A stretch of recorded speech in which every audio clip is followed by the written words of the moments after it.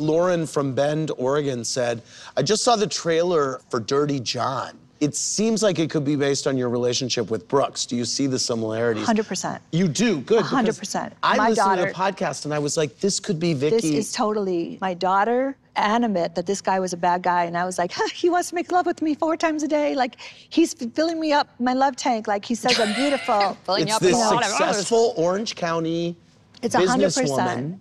It's really gets sad. conned. When you're in it, you can't listen to other people because he was chirping in my ear, they're the enemy, your daughter just doesn't want you happy. Like all this mixture of just chaos. Brooks is not a murderer, so let me. He make that- murdered my self-esteem and my pocketbook. and I'm going after him. Really? Oh, you betcha. You're going after him Oh, wow. what a- legally. Mm-hmm. For what? Money he owes me Fraud, misrepresentation. How much does he owe you? a lot.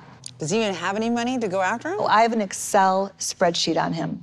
Maybe you just should say. just close that door. Yeah, I mean, close that chapter. Well, to you her her. know what? I don't yeah, think I know, should I know you have. He's still going to be Really? on your brain. No, it's not. I don't relive the emotion. I want my money back. I know, but you're not going to get it. You're going to spend so much money to get it back. No, no, no, no. I know what I'm doing. Okay. The man lied to Um, me, and he's not going to get away with it.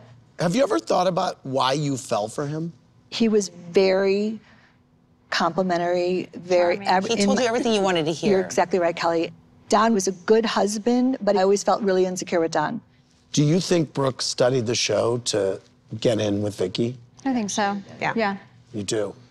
I'm sure he did. It's creepy. Con man. I met him when I was on season one, and I met him at an insurance conference in Buckhead, Georgia. You also said this season that you never should have left Don. not So a do you really We were think that you wish that you had stayed with him? I wish I would have never left him for Brooks. Yeah, you're right. In 2007, you saw an email from me uh, that told your mother while she was married to Don that I loved her. We, And to ask her to leave Don for you. I did not. Yes, I saw it. I'm in a better place now, but those five or six years of just hell, it was it was not right. Okay, we'll be right back. Thanks for watching. To subscribe, click here. To watch more videos, click here.